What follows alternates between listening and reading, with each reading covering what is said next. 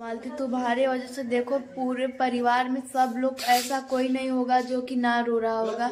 ऐसा तुम काम की ना देख लो, आज तुम कभी खुश नहीं रहोगी। भगवान करे तुम ऐसी जगह रहोगी ना, तुमको कभी भगवान खुश नहीं रखेगा और तुम अपने साथ साथ अपने बेटे का ज़िंदगी खराब कर रही हो। देख लो आग फाड़ कर जो जिसके बेटे को हर वक्त खिला, खिलाते थे और यहाँ पर आज वो रो रहे हैं।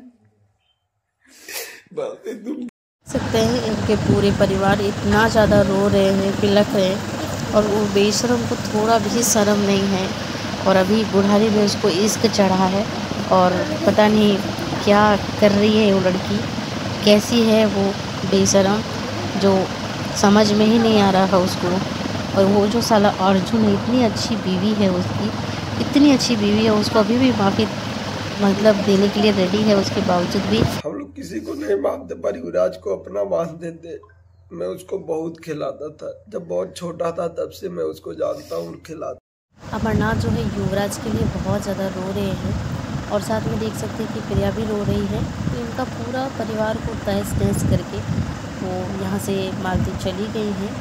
और अर्जुन के परिवार भी बहुत ज़्यादा परेशान हैं।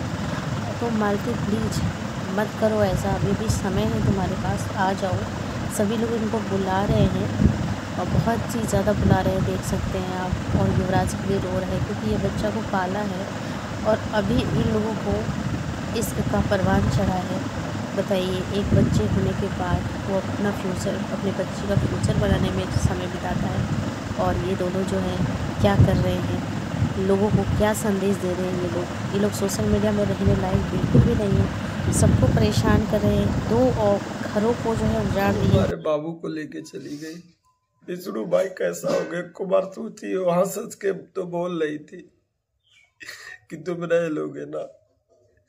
अरे, जब तुमको जाना है तो काहे पूछ रही हो तुम? जाओ ना। पर बाबू को देख ही गई होती।